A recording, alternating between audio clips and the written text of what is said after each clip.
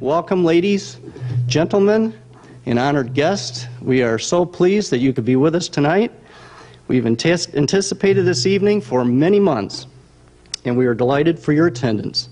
The evening uh, events are co-sponsored by the Institute for Renaissance and Reformation Biblical Studies of Stone Mountain, Georgia, and the Institute for Biblical Textual Studies of Grand Rapids, Michigan, both organizations are 501c3 nonprofit entities.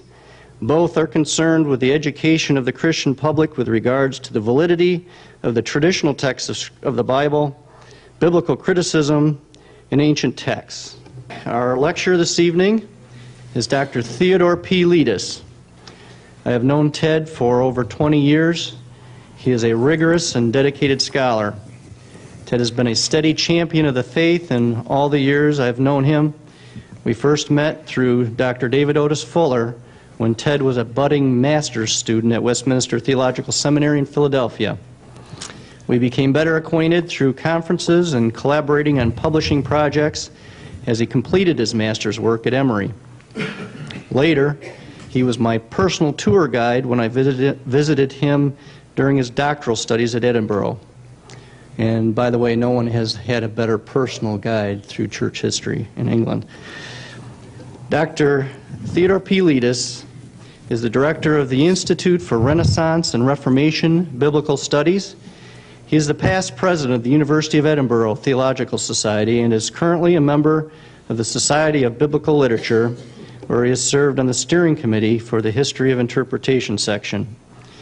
He also has uh, been a member of the American Academy of Religion, where he is currently part of the Seminar Historical Consciousness and its Impact on the Christian Churches. He's also a member of the American Society of Church History.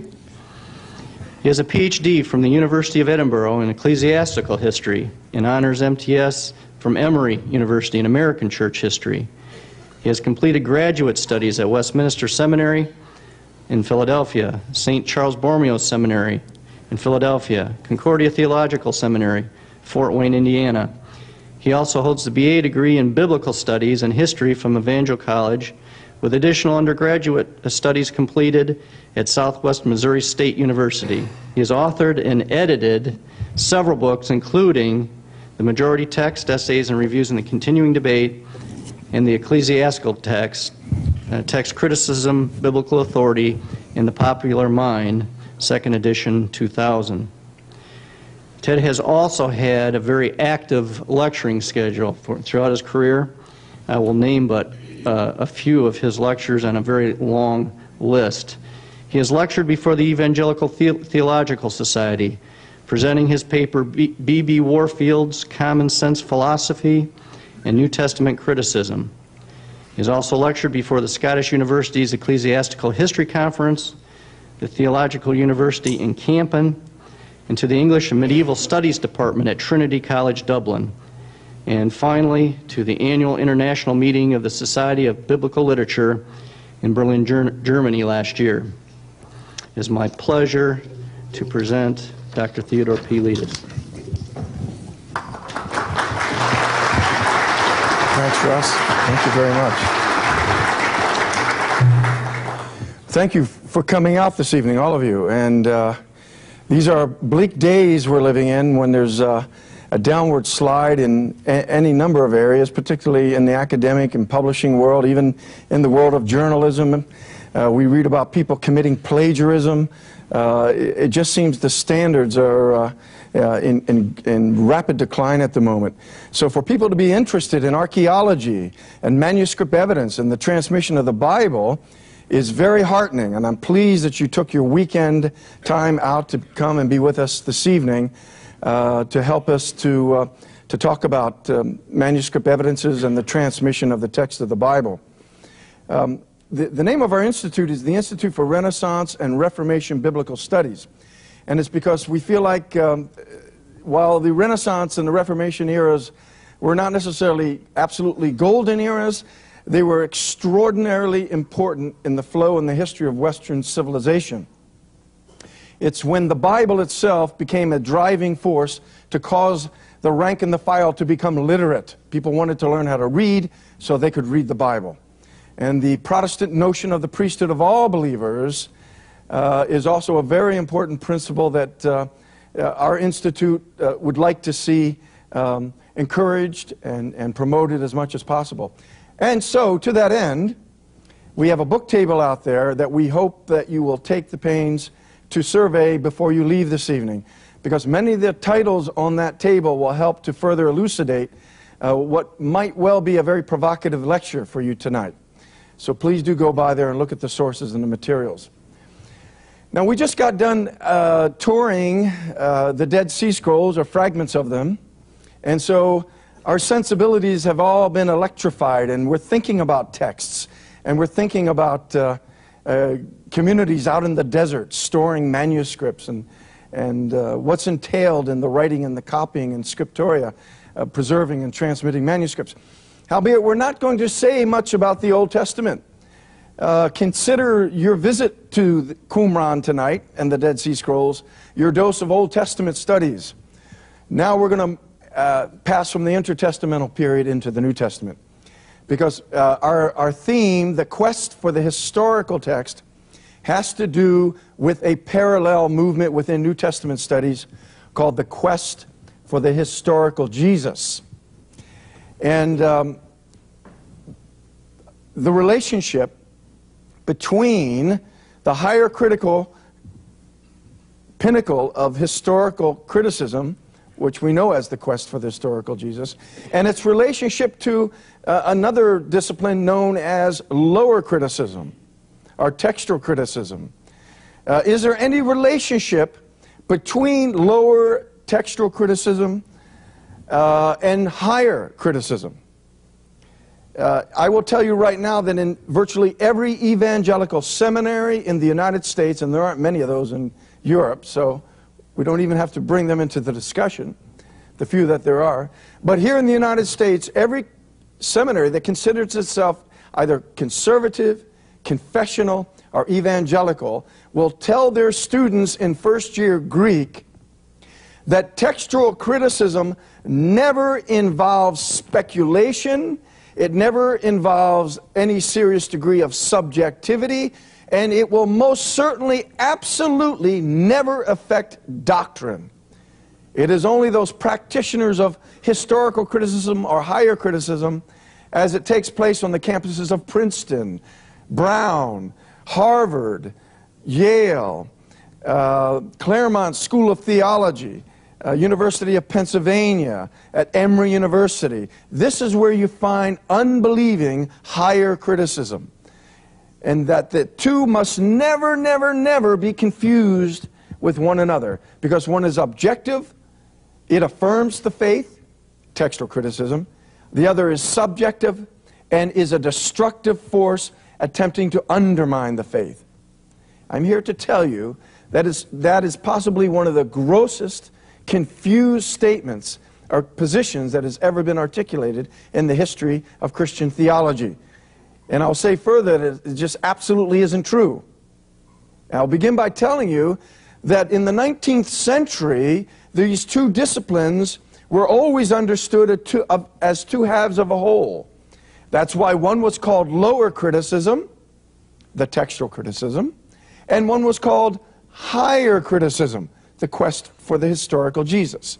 Why were they called lower and higher if they weren't defined against and in relationship to one another? Because they were, in fact, two stages of a single development. Lower criticism is what you did initially to sort out all the textual evidence.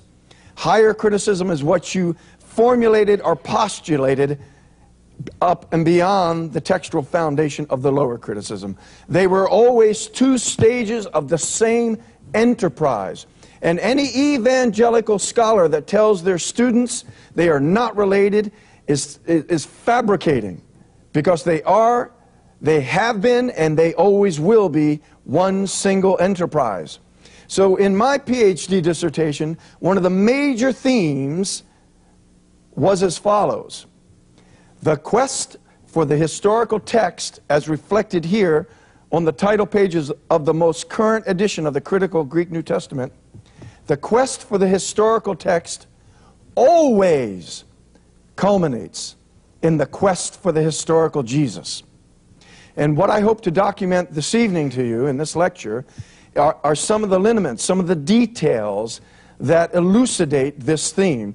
And if you go away realizing nothing else, you must leave this auditorium tonight having a fuller appreciation of the fact that there is nothing innocent or innocuous about trying to find the historical text, because there is a presupposition in the enterprise of questing for the historical text that is identical with an assumption or presupposition that's in the higher criticism. And namely, it is this that the church has fabricated the data and the evidence about who Jesus was, what he said, and what he did.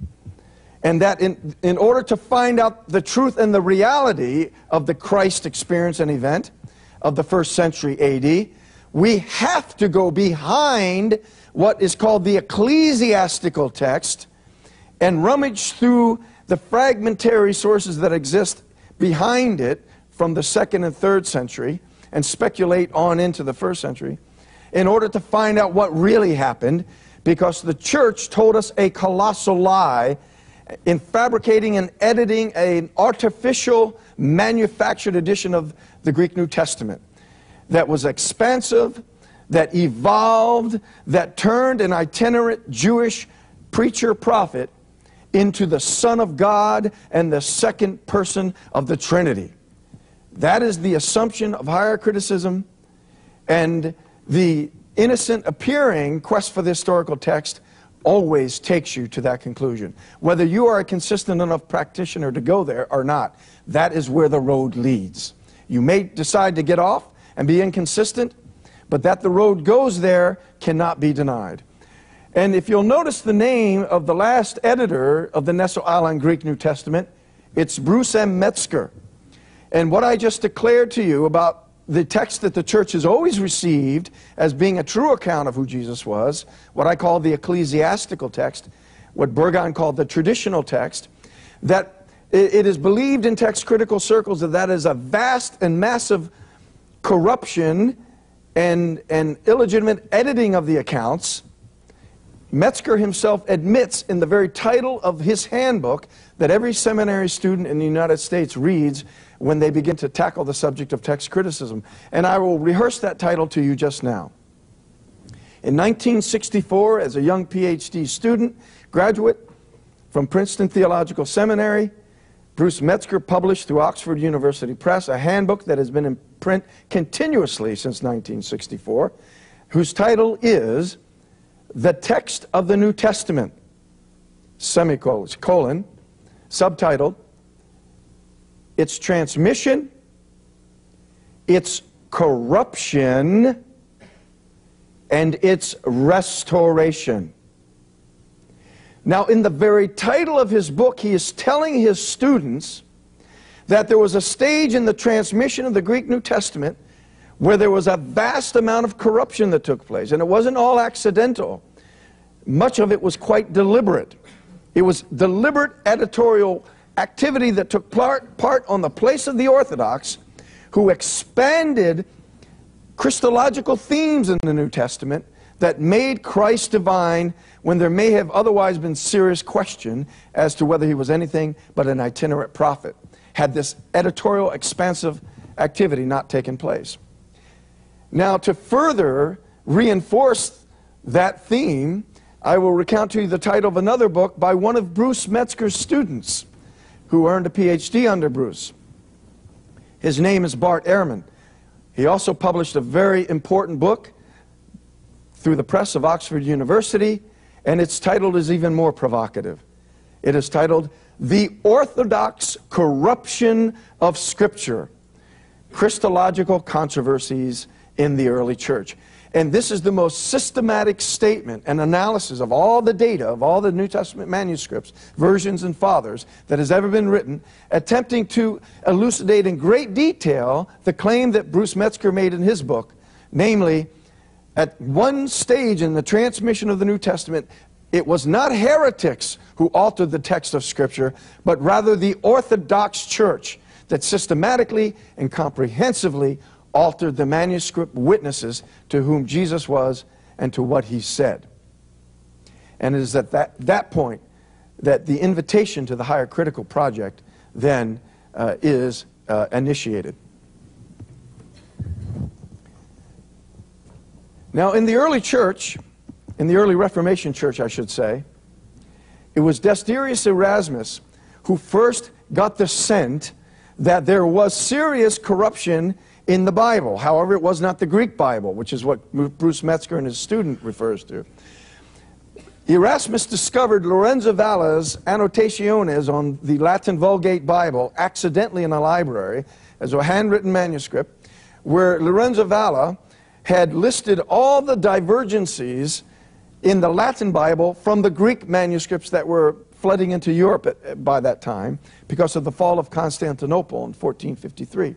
When Erasmus read Valla's findings and realized that the Latin Bible was so dissimilar to the Greek Bible, he made a decision then and there that he was going to give the Western Church the benefit of the oldest form of the Bible, not a translation in Latin, but rather ad fontes, the original Greek text. He was going to uh, edit it and restore it and, and let that be the foundation of a renewal movement that he hoped uh, would take place as a result of this momentous event.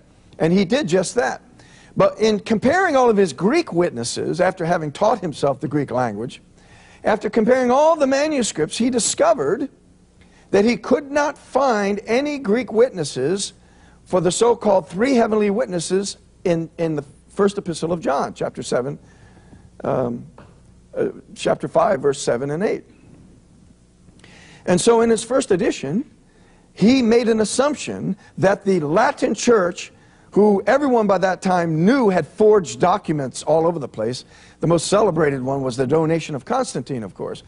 Erasmus sensed that since he couldn't find the three heavenly witnesses in any Greek manuscripts, this too must have been a corruption on the part of the Latin church uh, to fend off the challenge of the Arians in the early fourth century. So he left it out.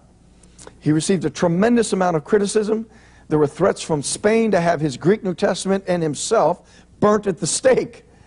So uh, it was actually an opportune development that a Roman Catholic English scholar by the name of Edward Lee brought to Erasmus's attention that there was a, Greek codex that had the three heavenly witnesses in it.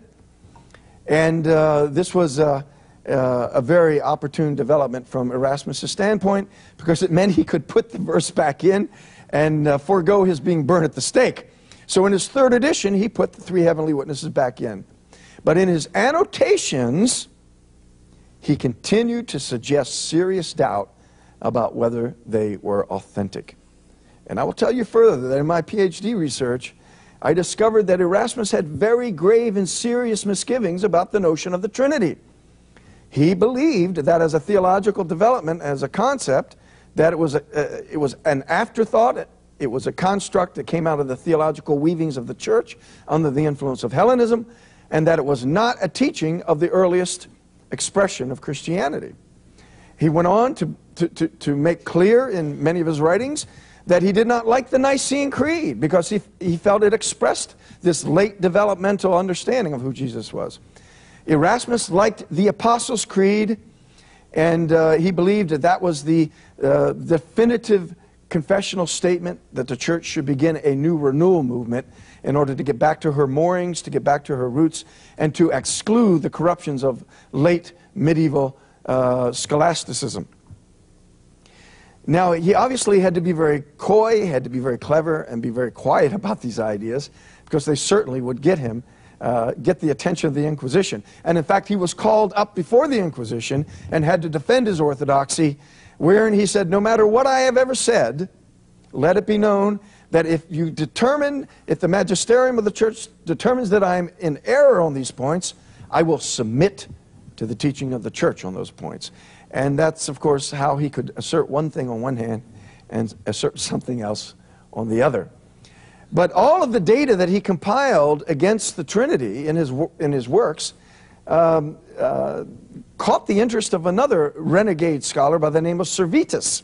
Servetus actually uh, attempted to make contact with Erasmus and share notes with him because he was going in the same direction as Erasmus, only uh, Servetus lacked the wisdom and the good judgment to be, um, shall we say, uh, discreet about his ideas. He was a radical and he wanted to have an impact on the church with his ideas and actually published and promoted the idea that the, uh, the doctrine of the Trinity was a profound error. Erasmus deferred making any contact with Servetus. He said, Thank you, but no thanks. And the, the meeting never took place. But there was an attempt for, uh, to, for there to be a conference between the two of them. Now, after Erasmus's demise, his annotations were the first critical approach to the uh, development of the discipline of text criticism that anybody would ever read in the history of the modern, early modern church. That is, his was the beginning of critical biblical criticism. Not his text. His text, very uncreatively, merely uh, reproduced the consensus of the Greek Orthodox Church and made no attempt to reconstruct something better or more clever. He accepted the standard of the Greek Orthodox Church. But in his annotationes, he had some very radical ideas. In fact, People don't realize that he was aware of many of the major variants that Codex Vaticanus had because he had a close friend in the Vatican Library. But any scholar who began to investigate the idea of the Trinity or wanted to delve into the notion of the variations in the Greek New Testament would go to Erasmus's Annotationes first. And there they would find all of Erasmus's misgivings about the Trinity. We move up now to the 17th century, and the gentleman we see on the screen at the moment. This is the famous Sir Isaac Newton, uh, the founder of the modern discipline of physics, a devout believer all of his life, and a man who gave up all interest in physics for the last 40 years of his life and devoted himself to writing theological treatises, particularly dealing with things like eschatology. But one of the subjects that he addressed that very few people know about um, uh, is the the, the, the discipline of text criticism. He read Erasmus's annotations and read Erasmus's misgivings about the Trinity and uh, began to rummage through all the evidence and suddenly realized that the New Testament was not as clear on the Trinity as it might be once it was shed of the three heavenly witnesses. So he wanted to do what Erasmus was afraid of doing and composed an entire treatise titled two notable corruptions of the scripture. And uh, I actually have brought along with me a photograph of the manuscript first page of this publication at the hands in the very handwriting of Sir Isaac Newton himself. This is the, uh, the manuscript that's in the Bodleian Library, and at the top of it, it reads, An historical account of two notable corruptions of Scripture in a letter to a friend. And the two notable corruptions were the three heavenly witnesses, these three are one, the Father, the, uh, the Word, and the Spirit. The other notable corruption was 1 Timothy 3.16, which he believed um, had been corrupted and made to read God was manifest in the flesh instead of the original reading as he believed it to be, who was manifest in the flesh. And he wrote an entire treatise. And he sent it to a French uh, radical critic by the name of Leclerc in Amsterdam to be published in a new radical journal, but it would be published in French uh, anonymously. Because uh, the irony of Sir uh, Isaac Newton, who was then denying, openly denying the Trinity, holding down a teaching post at Trinity College, Cambridge, would be much more than most people could bear. And so he wanted to make sure that if it was published, it was published in French, and his name would not be attached to it. He almost a had a nervous breakdown worrying about this because to be anti Trinitarian in 17th century England meant you could not indeed hold a post at any university. Uh, and in fact, uh, you would be pushed to the margins of society.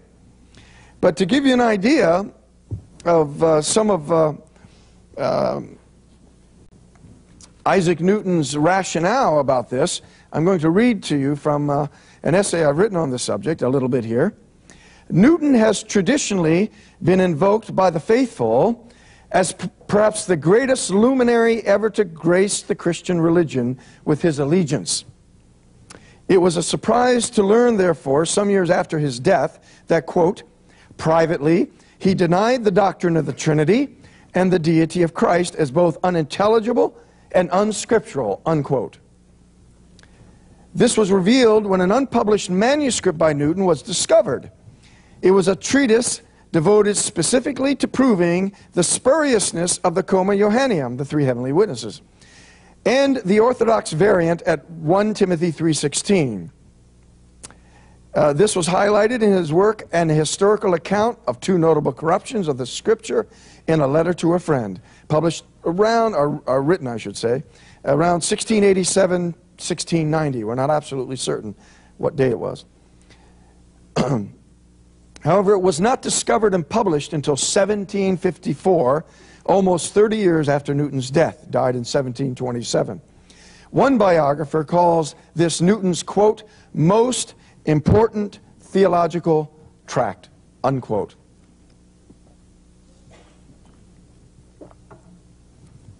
While he was alive, there were always rumors about Newton's unorthodoxy, even in his day. To be found denying the Trinity, while not, a dangerous, not as dangerous as in Erasmus's day, could still mean one would be deprived of a teaching post at the university. At worst, one might face imprisonment. This explains why it was Newton's original purpose to have the work published anonymously in the French language. Then, if all went well, he would also have it published in English. Newton's thorough refutation of the authenticity of these two proof texts, quote, the two on which the doctrine of the Trinity is principally based, unquote, coming from the very father of the new science, was nothing short of devastating to the cause of orthodoxy. And I quote from another author commenting on the quality of Newton's research on this point, quote, his knowledge of Greek and the Latin fathers, the theologians of the Middle Ages, and the history of sacred learning as displayed in this work impresses the reader with amazement at the universality of his powers and attainments. Unquote. This work represents the capstone to the now 200 year long attempt on the part of anti Trinitarians to shake loose from the influence of Orthodox tradition by revealing what appears to them to be the faulty textual evidence at its base. They now had the most important advocate perhaps since Erasmus, arguing their side. Erasmus had disrupted confidence in the Vulgata Latina by discovering its textual corruptions, thus precipitating the Protestant tradition. Analogously, the Protestant theological tradition was now shown to the anti Trinitarians, would argue, to be based also on a faulty text as well. If one could no longer have confidence in the sacred text of the church, one must now look for certainty elsewhere. Newton held out the promise of science. Deism was one ultimate result. If the God of revealed religion could no longer be trusted, as the deist would eventually argue, based on Newton's research, surely the God of natural religion could.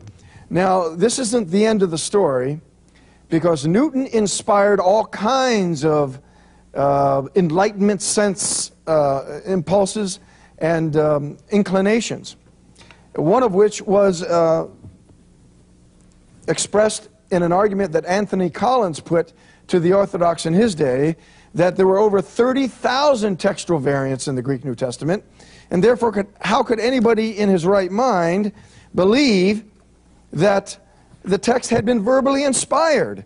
And so this was a serious crisis for the doctrine of verbal inspiration. And I will quote again from this essay Collins, a deist who had been influenced by Isaac Newton, demanded to know, based on the collection of variants by the text critic John Mill, who was Orthodox, by the way, how 30,000 variants could exist in a document divinely inspired by verbal dictation.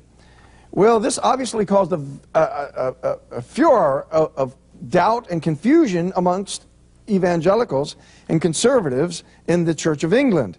And so a champion came forward to answer Anthony Collins. And this is a very important episode in the history of textual criticism because Richard Bentley, who was Orthodox, his reply to Anthony Collins has been echoed over and over and over again by the Orthodox right down to the present day. And namely, that uh, no matter how many textual variants there are, none of them ever affects doctrine. And that was the essence of uh, Bentley's response. Uh, here's his challenge and counter charge to Collins. He says, quote, make your 30,000 textual variants, as many or more, if numbers of copies can be reached to that sum. All the better to a knowing and serious reader who is thereby more richly furnished, furnished to select what he sees genuine but even put them into the hands of a knave or a fool. And yet, with the most sinistrous and absurd choice, he shall not extinguish the light of any one chapter, nor so disguise Christianity, but that every feature of it will still be the same. Unquote. Now, when I mentioned to you earlier, my opening remarks, that every evangelical seminary in the United States teaches their students that textual criticism never affects doctrine, this is where they got that notion. They got it from Richard Bentley in reply to Anthony Collins. However, Richard Bentley himself knew that this was a disingenuous response because he knew that Isaac Newton was an anti Trinitarian, and he knew that if, if Newton himself had been affected by textual variation to an extent that he actually gave up the Trinity. As smart as he was, then perhaps textual criticism and textual variance had more virulent challenge to the faith of inspiration than Bentley was willing to admit. Well, you see that what Erasmus started now is beginning to snowball. I show you here the, the instruments of another scientist another hundred years later down the line from the 18th century. These are the actual instruments of Joseph Priestley, uh, who's uh, attributed with having discovered the gas of oxygen, uh, one of the most learned men of all of the 18th century, but, however, who also was an anti Bentley, uh, rather, Priestley also began his study, his critical study of the Greek New Testament, by reading the annotations of Erasmus. And once again was put on the scent of the fact that there was some serious doubt about the three heavenly witnesses. And by the time he got done his text critical work, he had gone much further than Newton. Newton had denied 1 Timothy 3:16, he had denied the three heavenly witnesses, but Priestley had given up the virgin birth. And his rationale for giving up the virgin birth in the Gospel of Matthew, in the first chapter of Matthew, was based on the evidence found in the debate surrounding the three heavenly witnesses. And I will give you his own account, his own autobiographical account, of how he came to disbelieve that Christ was virginally conceived based on textual variation. Joseph Priestley, quote, there is one particular subject on which I have much enlarged in this treatise, and about which I had no intention to write at all when I began to collect materials for it. It is the miraculous conception of Jesus, concerning which I had not at that time entertained any doubt, though I well knew that several very eminent and learned Christians of ancient and modern times had disbelieved it. The case was that in practicing, in perusing the early Christian writers, with a view to collect all opinions concerning Christ, I found so much on this subject that I could not help giving particular attention to it. And it being impossible not to be struck with the absurdity of their reasoning about it, those who were defending the virgin birth. I was by degrees led to think whether anything better could be said in proof of the fact. And at length my collections and speculations grew to the size that is now before the reader. And he goes on to give his reasons why he believed the virgin birth was an afterthought added to the Gospel of Matthew. His argument is that the original Gospel of Matthew was written in Hebrew, of which there is patristic evidence. There was an early Hebrew edition of Matthew. And that in the Hebrew edition of Matthew, some early church fathers acknowledged that the opening chapter of our Greek Matthew was not present, and therefore there was no affirmation of the virgin birth. And on that basis, he, though he believed in the virgin birth, up to that point, gave it up. But the, the clincher for him was the evidence that Erasmus had provided and Isaac Newton had provided on the three heavenly witnesses. And I will quote one more short paragraph from, Priest, uh, from Priestley acknowledging this. And I quote The famous verse 1 John 5 7 concerning the three that bear record in heaven has been sufficiently proved to have come into the epistle in this unauthorized manner. And had it been done in an early period, there would have appeared no more reason to have suspected the genuineness of it than there now does that of the introduction to the Gospels of Matthew and Luke. So he's using that as a paradigm. If we look at how the three heavenly witnesses were introduced into the text, we can then understand how the virgin birth may have been introduced into the text late. And you can begin to see how this quick scan, panoramic scan down through the history of text criticism, bears out what Metzger believes happened.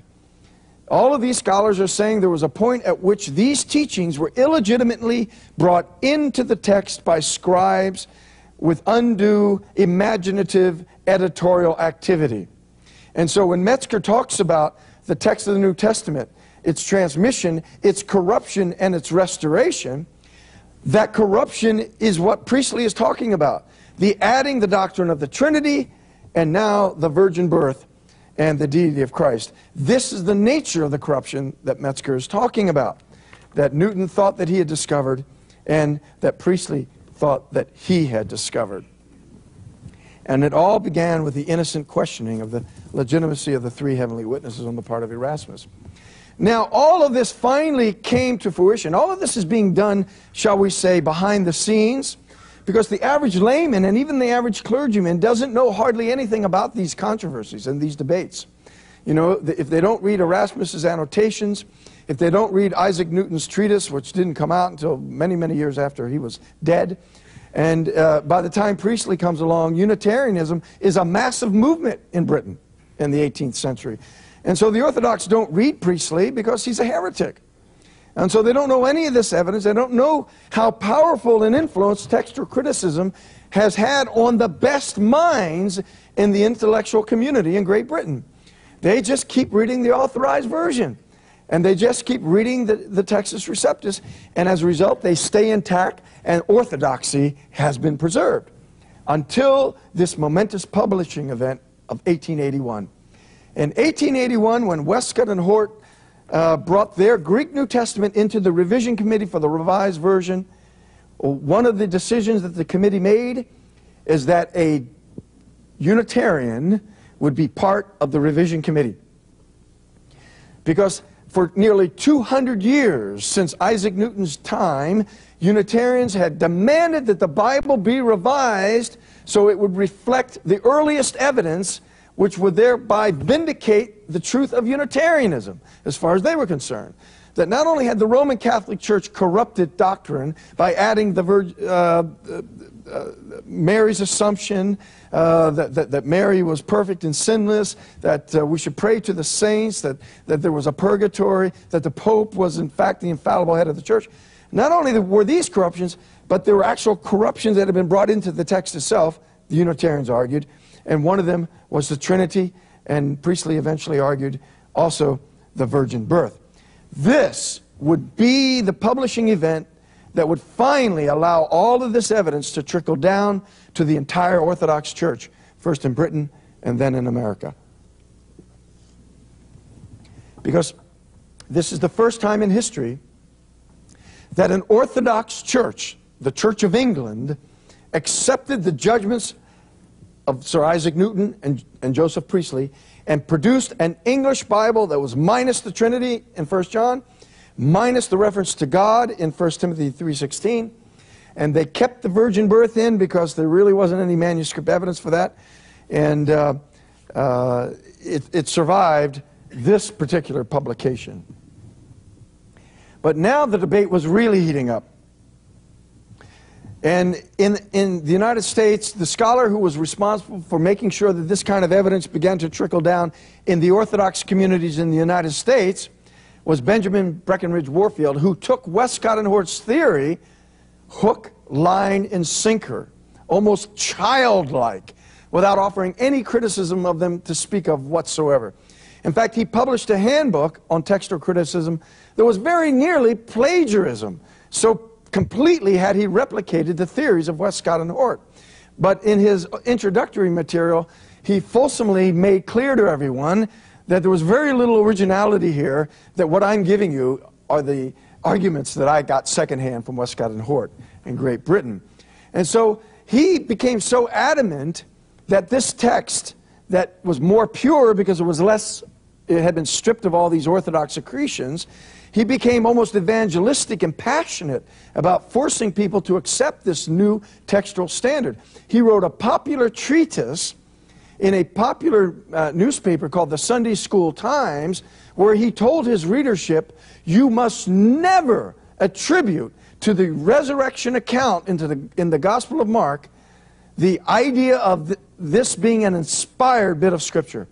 He told them they must, there was no option, they must reject the last 12 verses of Mark that contain the resurrection and ascension of Christ as spurious and inauthentic. And it was no part of the Word of God, was his language.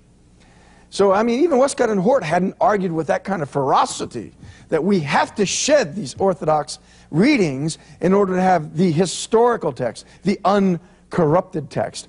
And it was not only in text criticism that he naively embraced these very radical historical critical notions. But uh, recent uh, scholars have come to the fore demonstrating that he was one of the earliest advocates of evolution as well. He, he accepted the uh, emerging theoretical speculative aspects of 19th century Victorian science as though uh, he was experiencing some kind of religious epiphany and he was quite willing to dispense with with the resurrection in the Gospel of Mark. He was quite willing to dispense with the age old understanding of Genesis, the 24 hour creation days, as this article makes very clear, an essay that was recently published in the Journal of the Presbyterian Historical Society. And there you can see the name Mark Noll, a very prominent evangelical historian, telling us that, in fact, uh, while Warfield was chanting this new theological word, inerrancy, it had absolutely nothing to do with him having a high view of Scripture. If anything, it was something that uh, uh, allowed everyone to put their guard down while, while he convinced them that Darwin was probably right, while he convinced them that there is no resurrection account in the Gospel of Mark. Um, I was very surprised to discover in this article, however, that there was no reference made to my own article that appeared in that same journal pointing out the defects in Warfield's view of textual criticism. They chose to completely ignore my evidence. It would have helped uh, carry their, uh, their argument, I think, if they alluded, uh, alluded to it. But uh, um, I, I, think my evidence was, was a bit more of a confrontative challenge to the evangelical community. And I didn't handle Warfield with kid gloves the way that Mark Noll did. So I think uh, that's one reason why they ignored my article. But uh, uh, I, I, know it sounds very ironic that Warfield was responsible for this, but he was. The evidence is in my published works on the table. Now, finally, uh, the Revised Version never took off in Britain and never even took off here. The ASV, uh, because it questioned the resurrection in the Gospel of Mark, it took away the reference to the deity of Christ in 1 Timothy and took out the most explicit reference to the Trinity. Nobody read the American Standard Version very much, except the most liberal wings of the American church. It was not until the Revised Standard Version came along that Warfield's theories about the text finally uh, began to be accepted by the mainstream. But of course, uh, this, this was the most radical English Bible that had been published up to date because the revisers chose to dispense with the virgin birth, not in the Gospel of Matthew, sorry, this is a little fuzzy, but rather in Isaiah. They went right to the source of, the, of Matthew's misconception about the virgin birth, and they changed a very explicit reading uh, in Isaiah 7:14 from therefore the Lord himself will give you a sign.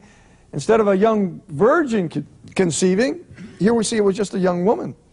Fits tongue and groove with what Priestley felt was the case. Fits tongue and groove with his theory that um, Matthew's assertion of the virgin birth was a late development illegitimately interpolated into the text and here also, uh, you can see, uh, it, while most churchmen, by the way, didn't accept Warfield's decision about the necessity of jettisoning the resurrection in the Gospel of Mark, um, the revision committee of the Revised Version uh, did, Revised Standard Version did. And here you can see the, the last sentence in the Gospel of Mark as it appeared in the original edition of the Revised Standard Version was, uh, For they were afraid and there's no reference to uh, an eyewitness appearance of Jesus' resurrection. It's been relegated to extraordinarily small type uh, at the bottom of the page. And here they're telling the reader that this is an illegitimate account. Now, uh, the, the, the revised version, revised standard version, was supposed to take one further radical step. It was supposed to become inclusive uh, in the 80s, the late 80s. And uh, uh, there were those who were very concerned that the Revised Standard Version reflect a kind of egalitarianism and do away with patriarchy. And, uh, but Bruce Metzger, to his credit, came forward and said, uh, You will not uh, make the Bible less patriarchal than the original languages will allow. And this was supposed to be the new Revised Standard Version. The people who were clamoring for it were not given permission for their arguments or their uh, theories to have any place in the New Revised Standard Version. And so they published it separately as a lectionary.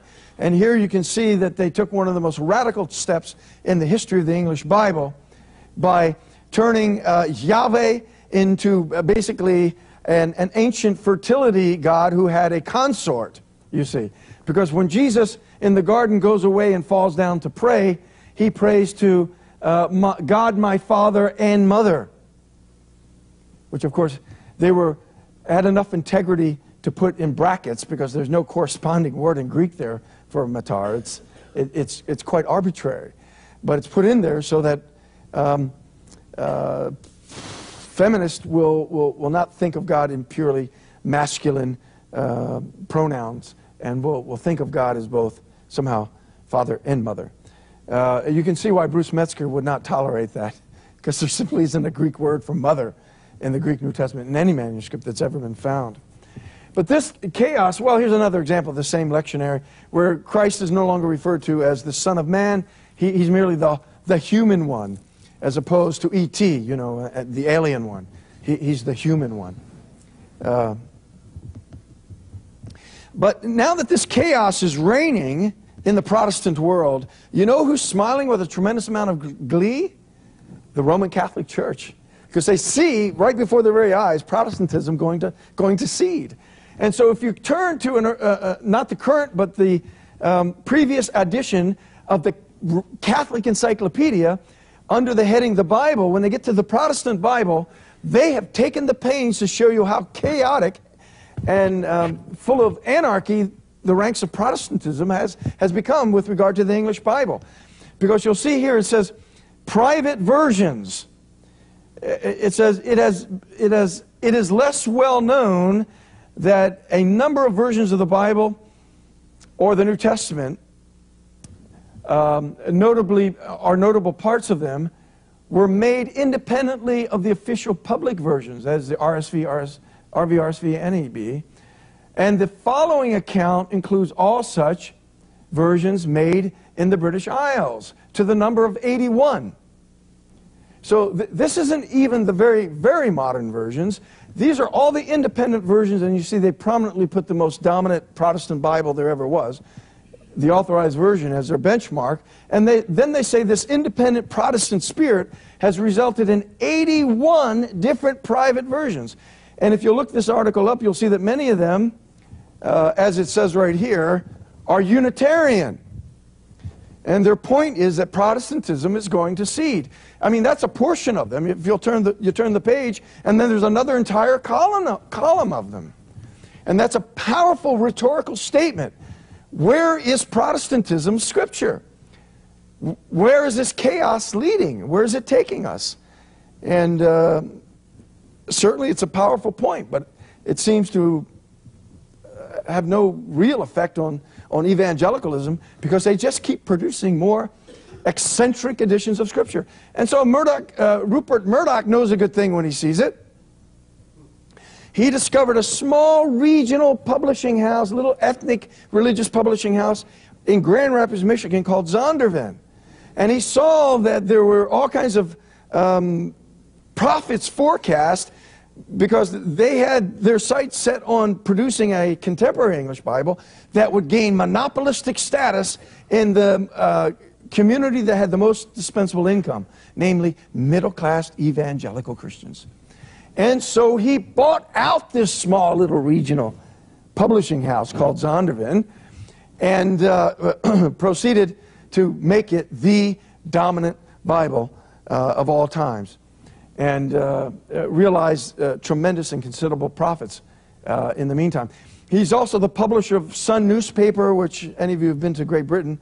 I know you've not looked at that because you know on page three there's a, um, a disrobed 20 something female from the waist up. And that's why most of the working class buy the Sun newspaper every morning before they go off to work, bricklaying or whatever they do. Uh, Rupert owns that newspaper as well as Zondervan's NIV. And he also, one of his publishing houses, also publishes uh, uh, the, the, the, Satanic Bible. Uh, so this is the crazy, topsy-turvy publishing world of the corporate modern English uh, Bible enterprise. Uh, and, and Rupert Murdoch realized that if the inclusive language lectionaries out there and if the New English Bible has produced an inclusive language edition, uh, the NIV should have one. But he knew that the evangelicals would have a little problem with, uh, you know, denuding the Bible of its gender quality, masculine quality. And so when they released their first edition of their inclusive language NIV, they didn't release it here, they released it in Great Britain. And World Magazine, of course, exploded this as one great, massive conspiracy. And uh, uh, Zondervan backed down and they said, okay, we won't do this since you guys are all upset. And then they went ahead and did it anyway. And so the, today's New International Version came out, and a group of scholars who were incensed, who had patronized Zondervan for 30 years, suddenly decided, well, we'll get them back. We'll produce our own rival Bible, and we'll drive Zondervan right into the ground. And uh, so how did they do it? All of these very upset and, and, and disaffected evangelicals who had been pushing the NIV for 30 years and felt betrayed that it had gone gender inclusive. Well, they, they went to the National Council of Churches.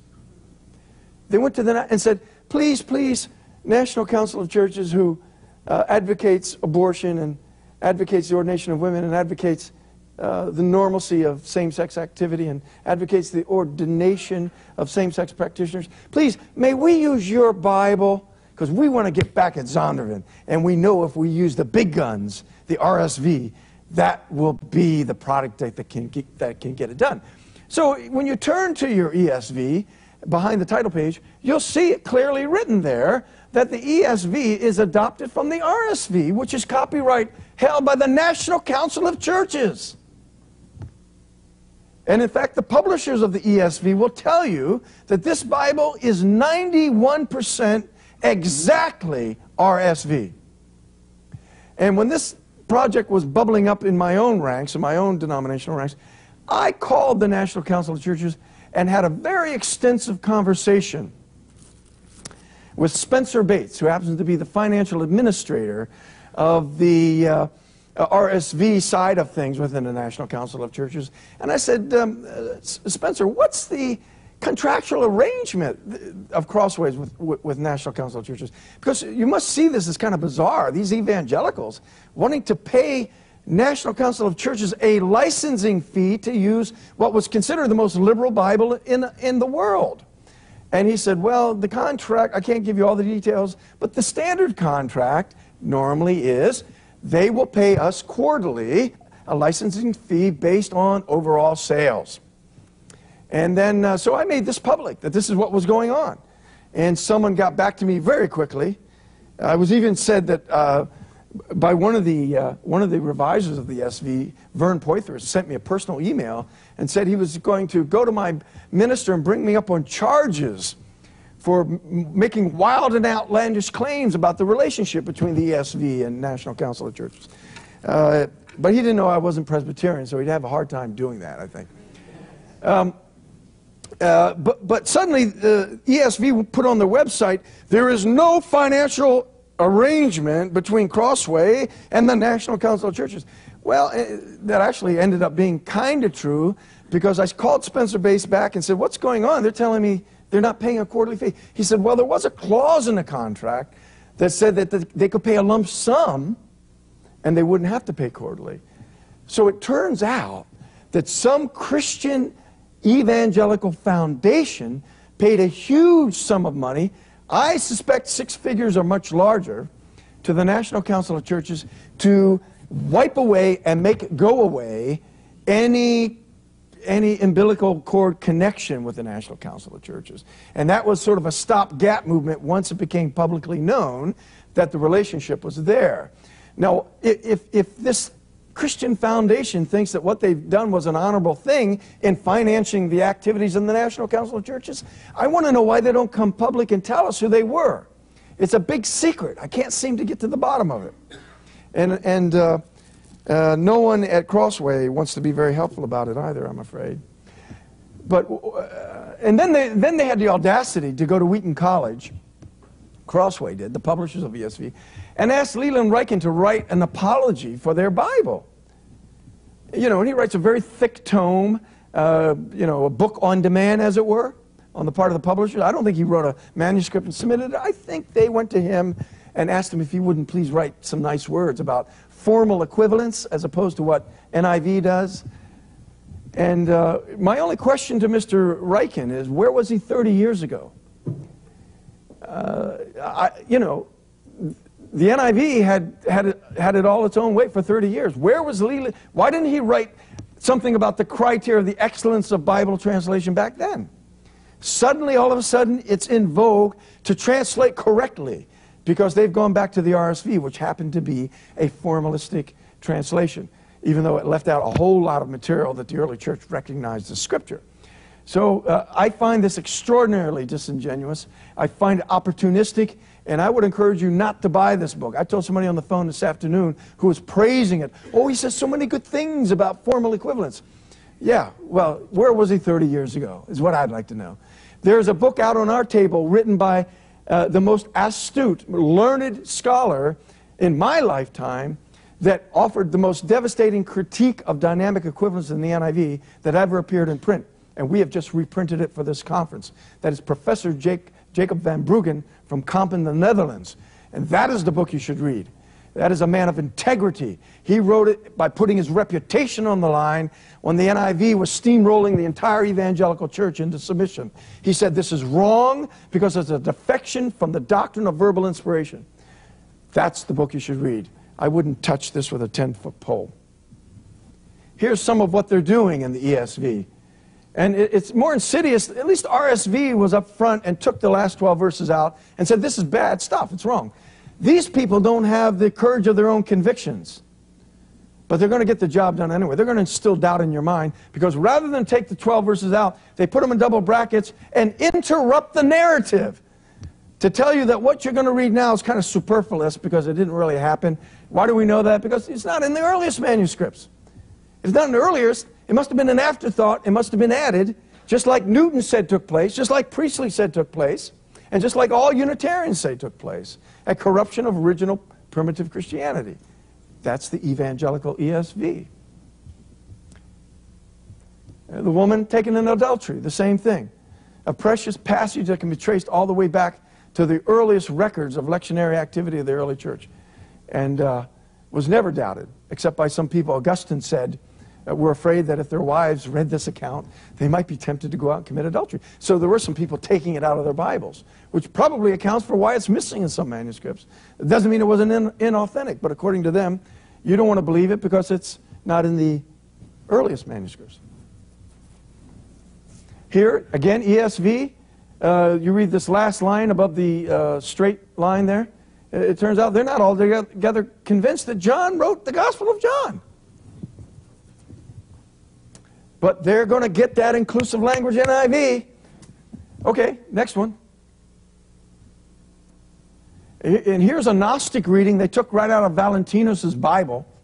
No one has ever seen God, the only God who is at the Father's side. Actually, it's in his bosom. They missed that there. It's not at his side. Greek doesn't say at his side, it says in his bosom. He has made him known. Well, that is a Gnostic reading from Valentinus. The correct reading, you read it in your King James Bible when you get home, is the only begotten Son, which is what John says over and over and over and over. It's so perfectly Johannine, there isn't anything else that is more distinctive of his, of his style than that. And here suddenly we got a weird reading, and it's not the only God, it's the only begotten God, by the way.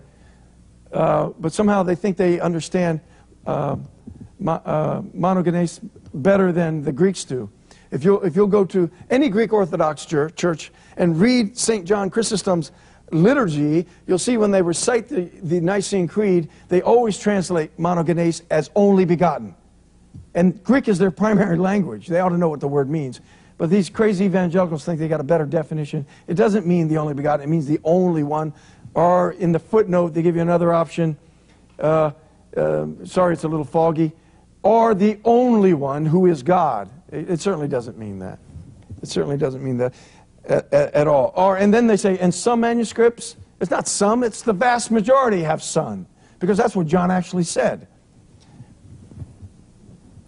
And finally, the ESV also leaves out the confession of the, uh, the eunuch. You see, the numbering goes from 35, 36, jumps down to 38, and uh, left out his affirmation that Jesus Christ is the Son of God. Just left it right out. Uh, in fact, we had a study in our bulletin. Uh, here you see some manuscripts add all or most of verse 37.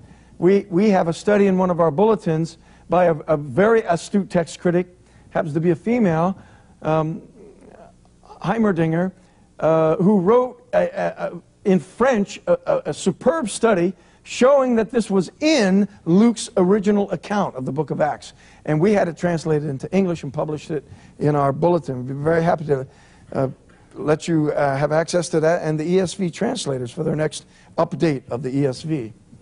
Maybe they'll put it back in. I doubt it. And of course, here they, they change um, uh, Joseph for, and put in the word pater, father. And, and so uh, uh, they have Joseph being Jesus' father instead of distinguishing him from his mother by referring to him by his Christian name or his Jewish name. uh, so it's his father and his mother rather than Joseph and his mother. And this has all kinds of implications because now uh, not only did Joseph Priestley argue that the virgin birth nev never took place, but in this book by Jane Schaberg, she argues that Jesus was not virgin born either, that he was the illegitimate son of Joseph, uh, as, as the ESV seems to affirm in that passage we just looked at. And, but that's not a bad thing, that's a good thing, because that means Jesus can identify with other marginalized people. There's another book that just came out that said not only, not only was he illegitimate, look how sad he looks there. Oh, that's because he's fatherless. Not only did, did Joseph uh, uh, uh, father Jesus, but then he abandoned him. That's what. So, so Jesus is sad. He's not the. He's no longer the son of God. He's the child of God. And he's sad because Joseph abandoned him and Mary, making, making him a, a single parent child without a fatherless, fatherless, uh, with, with uh, uh, no father to show him the way. So God became his father. It's gripping stuff, isn't it? it just happens to be a load of baloney.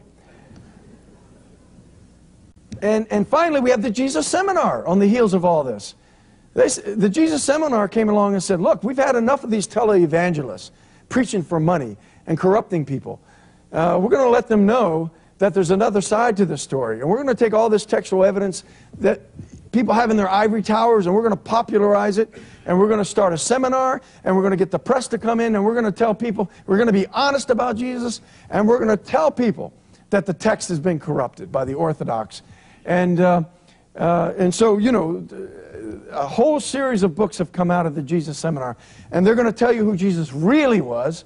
Uh, after they cut through all of the extraneous material that the Orthodox Church brought into bear. And this is their final definitive work.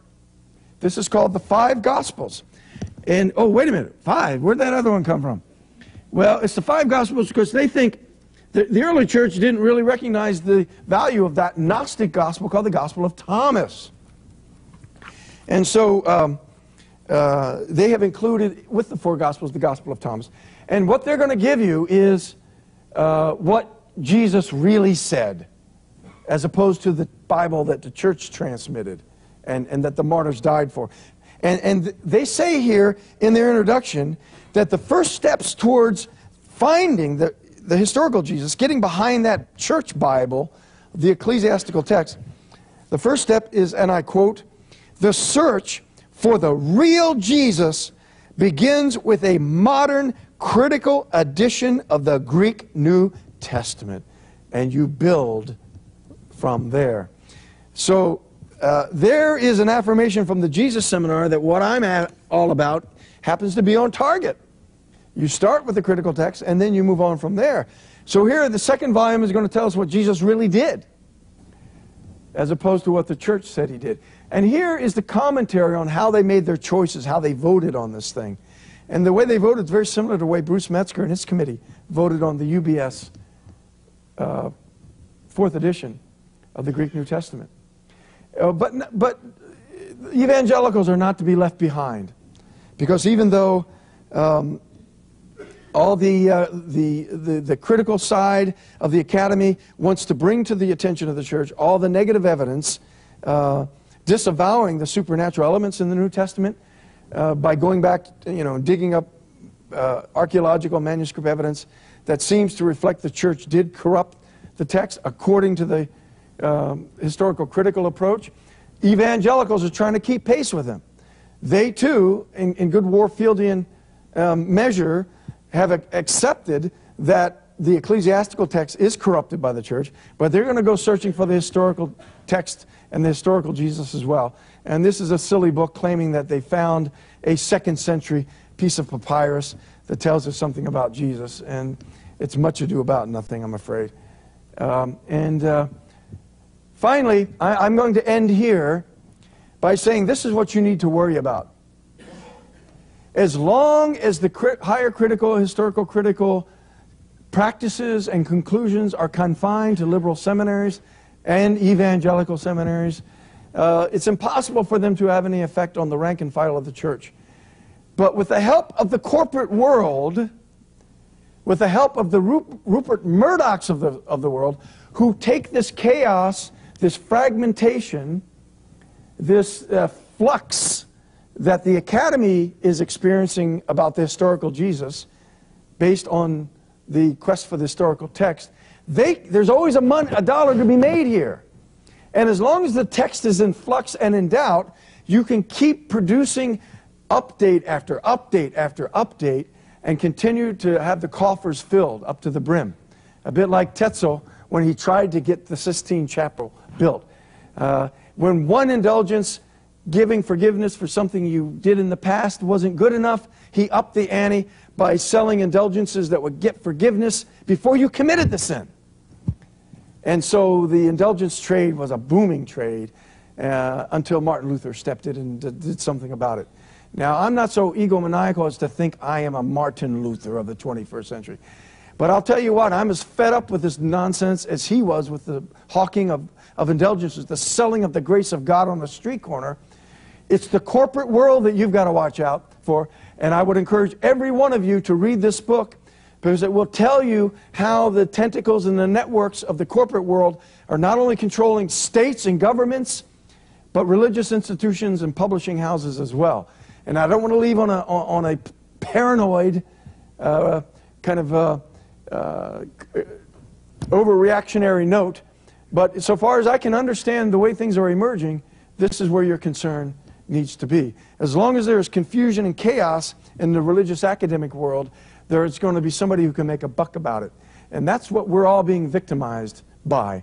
And I'm hoping that some of this information was of some help to you. And um, let me conclude by saying that uh, Uh, our purpose in being, as is Ru- Russia's, Russ's organization, is to provide sound and reliable information on the subject so that you can equip yourself and inform yourself so that you can keep from being exploited in the religious publishing world. And you can stand up and, uh, and know that, in fact, when Christ said that heaven and earth would pass away, but his word would not, that you can have absolute, uh, unremitting confidence in the truth of that statement, knowing who it is that said it. Thank you very much for your attention. God bless you. And if we can be of any help to you, please get in touch with us. Thank you.